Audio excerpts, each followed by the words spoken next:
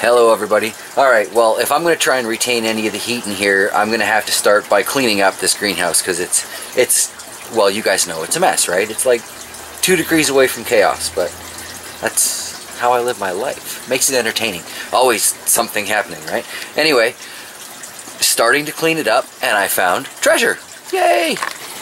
In the bottom of what I thought was just a pail of garbage, I found a hidden stash of clay pellets.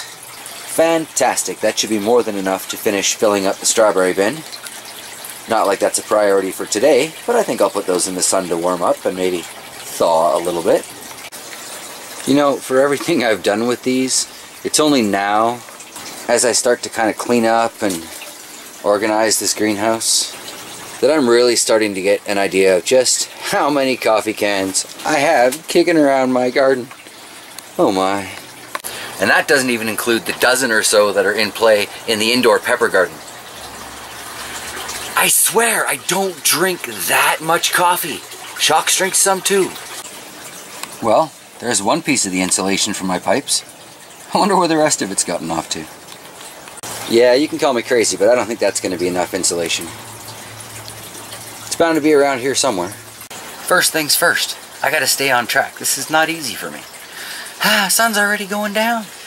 Alright, well I'm running out of daylight, but managed to uh, recycle some of that press board from the shed for now. Far from a permanent affair, and obviously, you know, only three quarters complete there, right? Chox has been gathering leaves, so for now, we're just going to dump those in the back here. A little something to, you know, a little bit of insulation. Anything's going to be better than nothing. But it seems to me this will block a lot more potential draft from hitting the tank. So that's good. Probably going to make a quick cover for this as well. But uh, doesn't look like I'm going to get that done today. We've been discussing plans for a mini greenhouse over the sled there.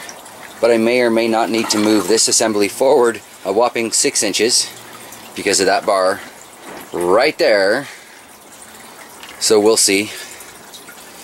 But so far things are looking pretty decent, pretty decent. Let's check the temperature in the water. Alright, now that I found the gun here. Well, the water does seem to be warming up a little bit. I don't know if that's from having it in the sump tank or it being in the middle of the day. But I'm, I'm still going to be happy about that. Well, there's a little bit of something in there and hopefully we'll be able to stack it up a little bit higher than that. Alright, this is probably it for the evening report. Sun's going down, so... If anything else noteworthy happens, I'll let you all know tomorrow, but that'll be in a completely different video because it's getting too dark to record. As you can see, you can, you know, not, not terribly bright in here right now.